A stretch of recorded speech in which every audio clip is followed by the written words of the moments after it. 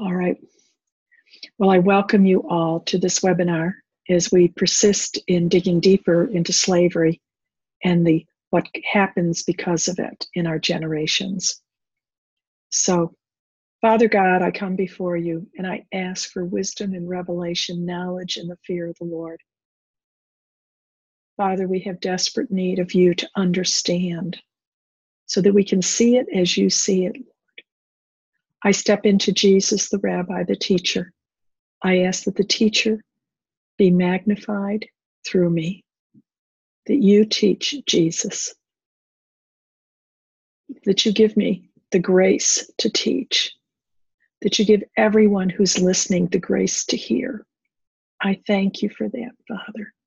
I praise you and I bless you and I honor you because you are the King of Kings, the Lord of Lords, and you are created. You created us and you are the creator. So thank you, Father. Bless you, bless you, bless you. This week has been an interesting week for me. I had ideas on how it would go, and it has not been going in that direction at all. And as Valerie and I have been discussing what we're, as we delve deeper and deeper into the layers, this is all layers. As we delve deeper, it was like, we're not ready for a court case. We will not be ready on the 6th of December. We have so much more that needs to be brought in, so much more understanding.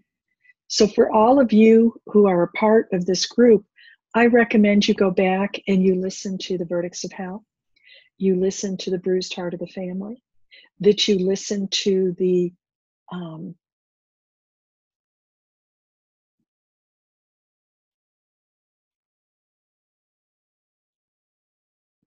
I, I just lost the rest of them. If you were part of the intensive training in the Mercy Court, go back and listen about the cause of curse. There's so much, so many pieces that are being drawn together into this teaching. So, we're going to begin today, and I'm going to begin with what the Lord this morning is I asked the Lord, what scripture is the foundational scripture for this particular teaching? And what I heard in my spirit was, You will know the truth, and the truth will set you free. And I said, Well, I understand what that means, I think, but I've learned a long time ago that scripture is not as we have perceived it. And so I always go in and really dig into the Hebrew and the Greek. It's just part of who I am. And so I, the first word I looked at was know, and know there means comprehend. And comprehend is a very interesting word because when we say comprehend, we typically will define it is to understand, but we say, what is the definition of understand? We say to comprehend, it's circular reasoning, and we really don't know what the definition is. So if you go into comprehend, prehend comes from the from the Greek, which means to grasp something. Now you can't grasp something unless you have light. Light is the important denominator in any kind of gaining knowledge and understanding. So if you walk into a dark room and there's no light in the room and there's something you need to get off the table, you won't be able to do it unless light comes into that room. Otherwise, you're going to go and you're going to be tripping around and knocking things off the table. You can't, only with light can you go and grasp it, seize it, take possession of it. So it says, and you'll know the truth. So it means you're going to comprehend the truth. You're going to grasp it. You're going to seize it. You're going to perceive it. You're going to apprehend. Now, truth in the ancient Greek was synonymous with reality as opposed to illusion.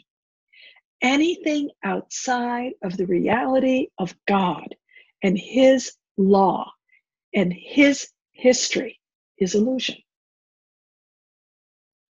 So it's grasping the truth, the truth of the reality, the divine reality, the divine truth that has been re- has been revealed to man. So and the truth, this truth of what God is showing us, it's what's going to set us free. Now, to set free means to make free, To exempt from liability, it is a legal term.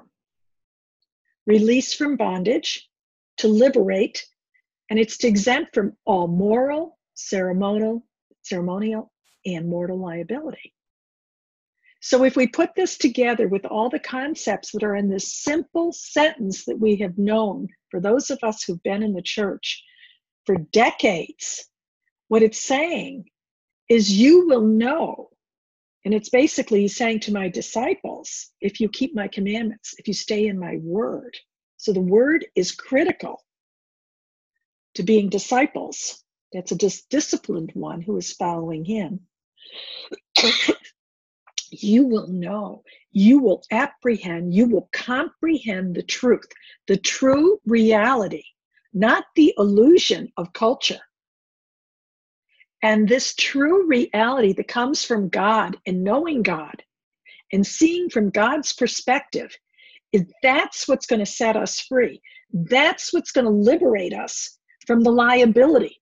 Now, liability is from those charges, when you have a liability against them, you are responsible to pay whatever the price is. And before Jesus Christ, the price against our heads was death. So, I want to get into the next thing I was talking to the Lord about. It's the whole idea of the basic verdicts of hell we're looking at. Now, we have so much work to do on this, and I really, really do appreciate your prayers because we're not going to do it without your prayers and your prayer support because we're walking into some areas that we have not looked at before. When we were in Nagaland, we experienced the generational core beliefs that were limiting the Nagas. The Nagas, Nagas are a tribal people, and they were headhunters right up to the 18th, 19th, probably into the 20th century. They were headhunters. But then God, in His rich mercy, He sent revival to Nagaland. And the Nagas, because they were tribal, they were considered by the Hindis, and they're a state of India, they were considered less than dogs. They were beneath the untouchables.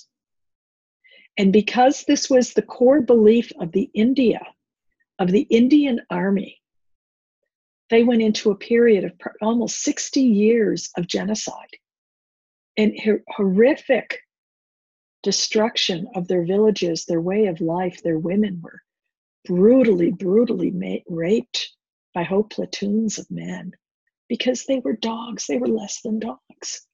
Now, that generational core belief of the Hindi set in motion the destruction of a people group. And when we were there last year and we were looking at generational core beliefs, we realized one of the most important core beliefs about against the Nagas was they were savages.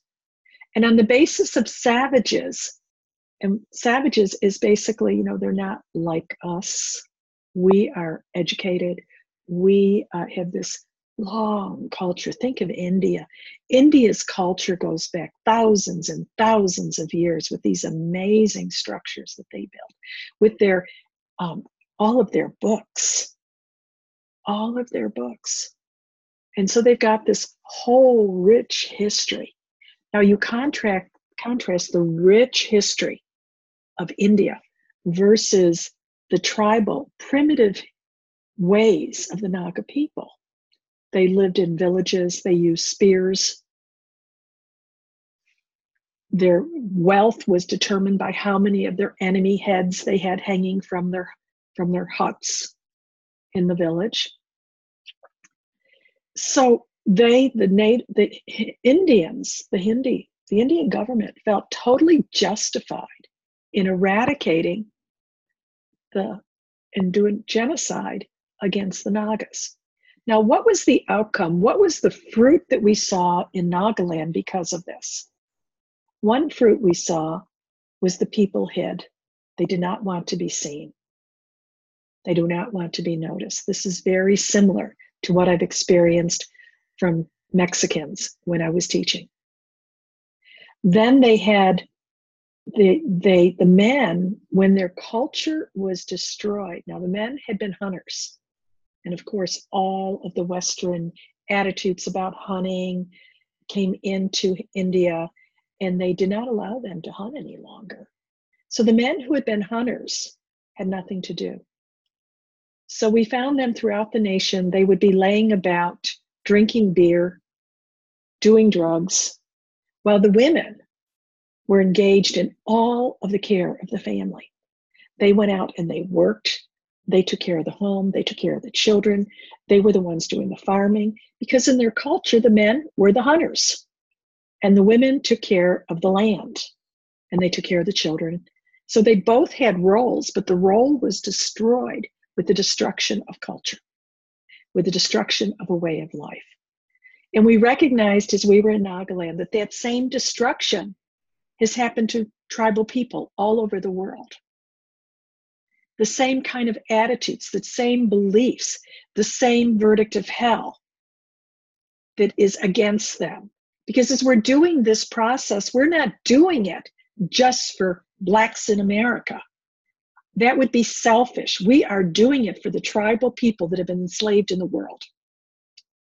So, what are some of the basic verdicts of hell that I've been looking at? Now, a verdict of hell, I'm going to go through a short teaching in a little bit. Basically, it is what did the government of hell make a judgment, make a law, establish a law that affects the people? So, in, in terms of blacks from Africa, and realize there are blacks in southern India, skin tone is very, very important in those cultures. There, they basically, there was because of the enlightenment, which was the rejection of God and his word, the rejection of the miraculous, men began to eat from the tree of the knowledge of good and evil. And what was the main lie that man believed when Satan in the garden tempted Eve? He basically, if you eat of this fruit, you will be as God. So man is continually wanting to be as God. And it's that belief that judgment of hell, that's one of the first verdicts of hell that is an operation of all of this, is certain people groups truly believe they are as God. So, with that, being God, they determined that other people, such as the blacks from Africa, they're a totally different species. In fact, they're the missing link in evolution. So, because they're a different species, we can treat them differently. They do not have the same feelings. Out of that comes all of the horror of slavery because they're different species. And they're savages. Savages, the verdict of savage is huge because if someone is a savage, they do not have the sophistication, the civilization, the knowledge, the culture their culture is despised. Out of all of that, they're inferior. That's just a fruit of all of this. But the basic message, the basic verdict of hell is blacks, savages, and we're going to put it at savages, the tribal people are not included in the truth that all men are created equal because there's different species of men, and our definition of men in that particular saying does not include that. And they're not created in the image and likeness of God. That is the bottom line. And whatever culture is the superior culture because of civilization, because of their knowledge, that is the culture that has the right to enslave the other tribal people.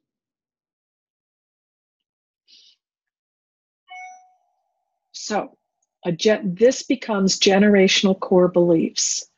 Generational core beliefs impact perception and form our attitudes. They form the reality. Remember, the truth, the truth shall set you free.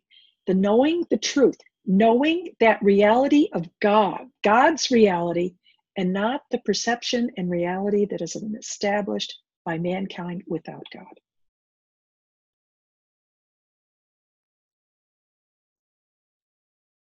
Now it's interesting when God created man in the Garden of Eden, Genesis 127. This is this is this is a revelation that just keeps on reverberating in me. God created man in his own image. An image is a likeness, it's a resemblance to the nature and character of God as creator. So we can create. And the in the image of God, he created him, male and female. Now, man there in that scripture is Adam, but male is the remembering ones. A male is a remembering one. It doesn't talk of women being the remembering ones. He said, I've created man to remember. Now, this is this is so important. It's because of this in the Old Testament, God told the Israelites to remember their deliverance out of Egypt at the Passover. So every Passover, which continues today, they go through the whole story of God's deliverance of Egypt out of Israel out of Egypt, the parting of the Red Sea, the miraculous. And fathers are to tell their children of the marvelous works of the Lord. So the telling the remembering. And remembering has to go from generation to generation. But what are you remembering? What are you telling to your sons? That's the critical issue. So, in Psalm 78, verses 1 to 11, this is coming out of the Passion. I want to read this to you and just show you how critically important the proper remembering, the proper remembrance, keeping in remembrance, creating a memorial, remembering the miraculous of God. He established a testimony in Jacob and appointed a law in Israel, which he commanded fathers to teach to their children. The testimony is the works of God, that the next generation might know them, the children yet unborn, and arise to tell them to their children, so that they should set their hope in God and not forget the works of God. It's the family, it's the male's responsibility as the teacher of the children to share the stories of the wonderful works of God in our families. Not to forget the works of God, but to keep the commandments, and that they should not be like their fathers, a stubborn, rebellious generation, a generation whose heart is not steadfast, whose spirit is not faithful to God. When a people stop remembering, they will not keep the commandments. They will be, their hearts will not be steadfast, and they will not be faithful.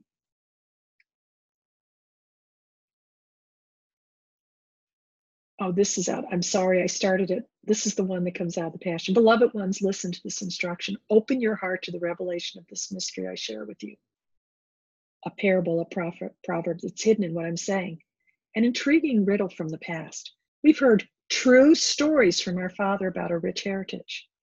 We will continue to tell our children and not hide, hide it from the rising generation the great marvels of our God, his miracles and power that has brought us all this far. The story of Israel is a lesson in God's ways. He established decrees for Jacob and established the law in Israel and he commanded our forefathers to teach them to their children for per- perpetuity. God says God's ways will be passed down from one generation to the next, even to those not yet born. In this way, each generation will have a living faith in the laws of life and never forget the faithful ways of God. God established a precept on how we are to continue and impart into our children the remembering of our ways, the remembering of the ways of God. Notice it is the males who are responsible to bring the remembering. But if the males are not teaching the ways of God, but they're, re- they're rehearsing and they're remembering all of the trauma or all of the victories of the flesh, all of the oppression of the flesh. That is what's being imparted into that generation. So, this is why I believe that men have been under such assault, why feminism has risen up so. It is to keep the voice of the male remembering the righteous ways of God, the miraculous works of God, to keep it forgotten. That we're not operating in the remembrance of the goodness of the Lord.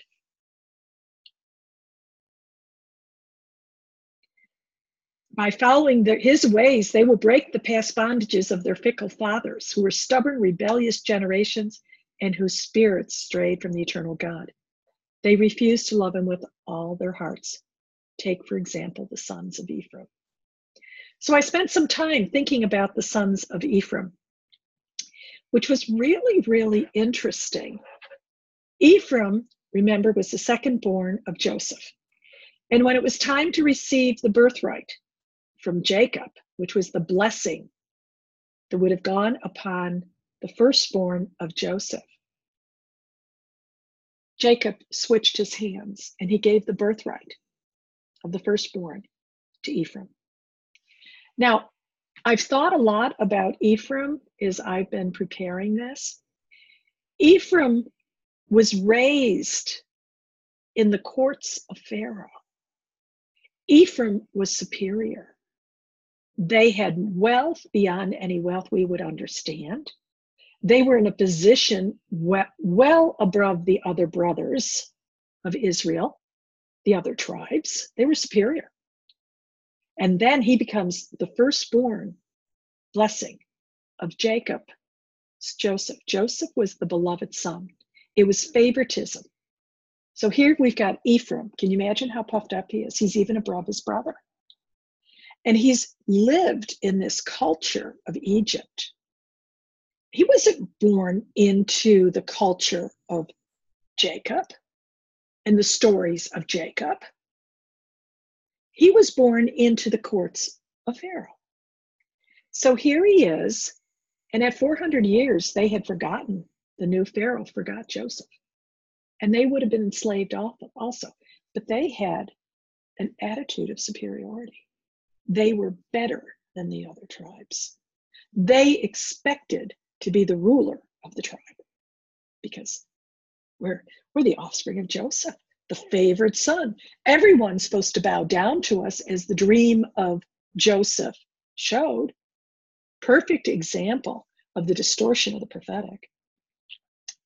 So they, though they were all equipped warriors, each with weapons, there were there were different battles that Ephraim was involved in. One of the challenges of Ephraim was at the time of Gideon, and Gideon, Gideon did not call them to the battle. And they were highly offended because they were such valiant warriors. So Gideon, in the wisdom of God, he stroked their flesh. Oh, I know you are such valiant warrior warriors. And he showed them great con- kindness and he honored them. And that soothed their ego. Then we move on to the time of Jephthah.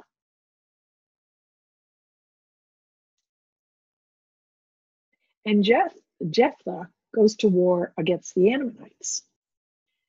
And Ephraim's pride and his jealousy and his self centeredness and his superiority of who he was was very offended with Jephthah for not calling them to the battle. So they, they caused a civil war and 42,000 Ephraimite soldiers were slaughtered. And the way they determined, I find this very interesting, if they were an Ephraimite soldier or not as they were fleeing, is how they pronounced one word. Think about in superior culture and how a superior culture always has a way of pronouncing words that shows that they're, they have the high language and not the lower language of the uneducated and the savages. So then the next thing we get is they, at the time of Rehoboam, they led the, the, rev, the revolt against the kingdom of David, and they took the 10 tribes and became the northern tribes. Now, to become the northern tribes, they had to walk away from the worship of Almighty God. And they specifically walked away from the temple because they did not want the people going to Jerusalem. And they set up idols in the northern kingdom because they were afraid that their loyalty would be taken from the northern kingdom to the southern kingdom. This is all coming out of a superior attitude. I, we should, who is Judah? How dare Judah be leading the tribe? Don't you know who we are? We are superior to everyone else. Now, in we get into Hosea, and Hosea really nails it. Hosea tells us in Hosea 4 6, My people are destroyed for lack of knowledge. Because you've rejected knowledge, I also reject you as my priests. Since you've forgotten the law of your God, I will also forget your children. Now, we've taken the scripture, people are destroyed for lack of knowledge. And again, I think we have that attitude that we understand. But unless we dig deep, deeper, we really don't get the depths of what God is trying to tell us. Knowledge here means the knowledge of God. This is the remembering of God. It's, it's obedience to this truth. Remember, truth is the reality of God. Truth is the reality as God sees it, not the delusion that we walk in. Reject because you have rejected the knowledge, the truth of God. You've rejected knowing Him, and you're living in a delusion. And you have despised. To reject there means to despise, to cast it away, to have nothing to do with it. You have rejected the knowledge of the Holy One of Israel. And because you've done that, I reject you as priest before me since you've forgotten the law of God. Now remember, male means remembrance. So here the males have forgotten. They they're oblivious to it. It's from the want of attention, a want of memory. They have not in, been relaying the wondrous works of the Lord. And they forget it because they forget God. They forget the ways of God. They forget the wondrous works of God. Basically, God says, I forget your children. Now, this is all part of Zakars, being Zakars. And we find out that Ephraim joined himself to idols. He gets drunk. He sleeps with prostitutes. He would rather be vulgar than lead a decent life.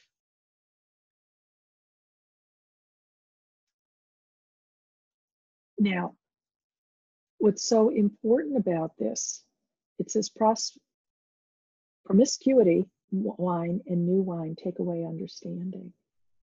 Promiscuity here is being involved with other gods. And I started with saying, man took the first lie of, of Satan, and I can be as God. And in the culture of Europe, especially, even in the culture, the Hindi culture, they have God men. They became as God. In the Enlightenment, it was the whole pursuit of being God. And if I'm God, I can do anything. And they rejected the supernatural. This was an outright rejection of the culture of science and reason of the supernatural, marvelous works of God just as Thomas Jefferson cut out all the supernatural and all the miracles out of the Bible. It just then becomes a book that's the tree of the knowledge of good. There is no transformation that can come to a man's heart as long as his belief system, his perception of who he is, is God.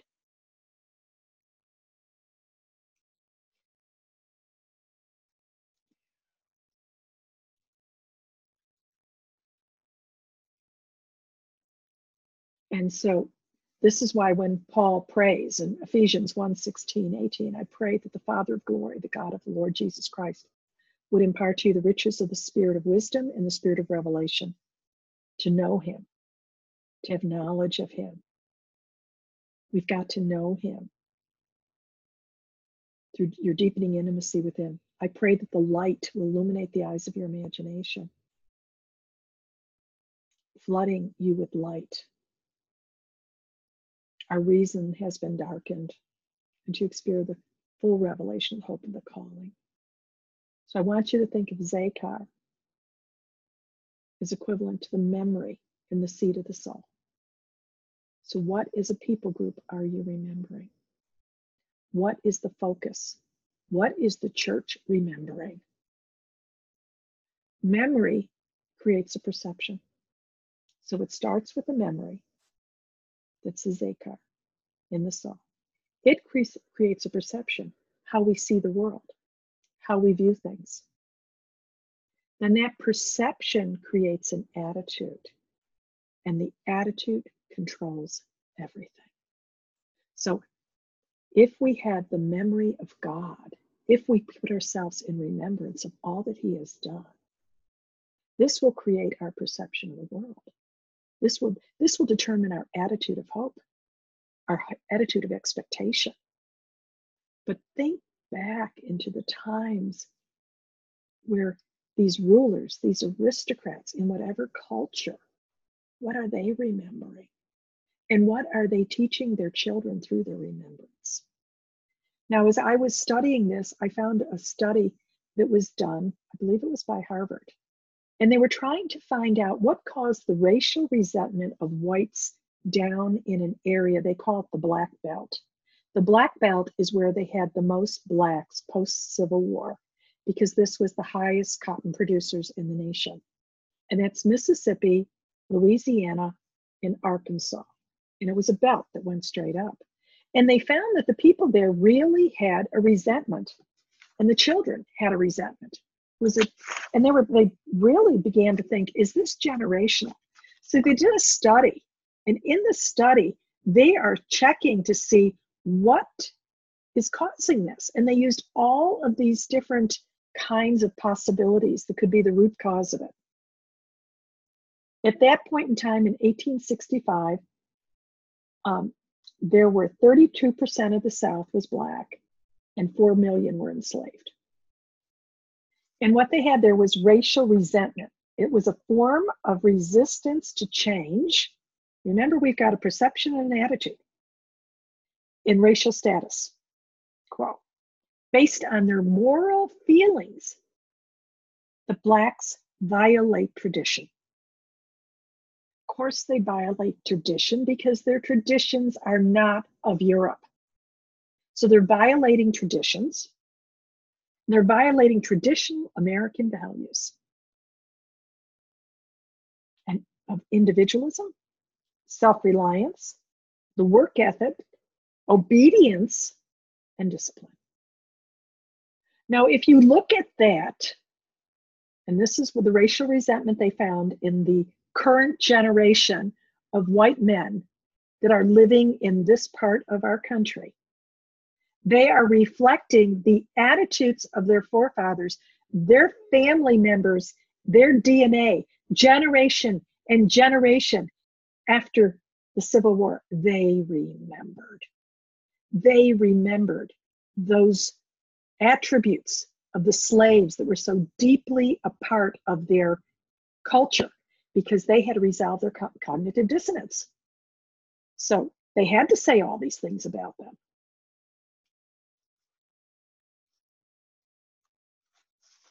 And the only common denominator was that this was where they had the largest numbers of blacks post Civil War. Those areas of the South that brought in the tractor, the racial resentment disappeared much more rapidly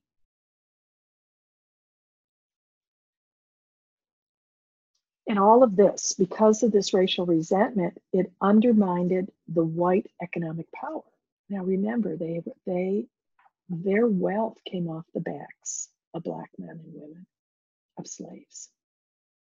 So when that suddenly shifted and they could not use them, of course, they had to find other ways to enslave. They enslaved through sharecropping, they enslaved through penal enslavement. This part of the world was famous for the chain gangs doing the work. And from what I read, those chain gangs, you could go for 10 to 15 years of imprisonment just for looking at a white woman the wrong way. And it also, it undermined their political powers for a season. So out of this loss of power, economics, it encouraged the violence, the racist attitudes, and it instant institutionalized the race, race, racist policy, Jim Crow laws, all of that that was instituted in the South. But it's coming out of a generational core belief. It's in the DNA.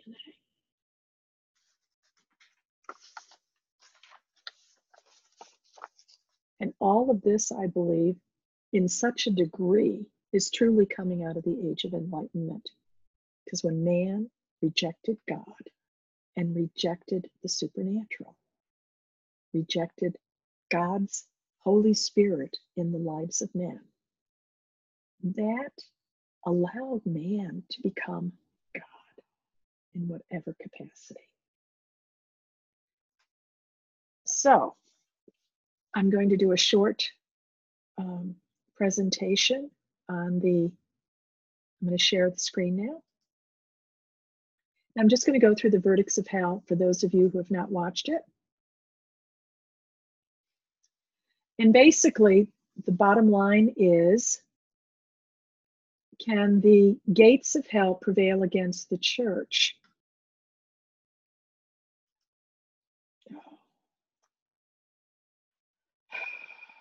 Okay, I'm, I'm struggling again. The reason I'm struggling is I don't want anything else to be seen except that presentation.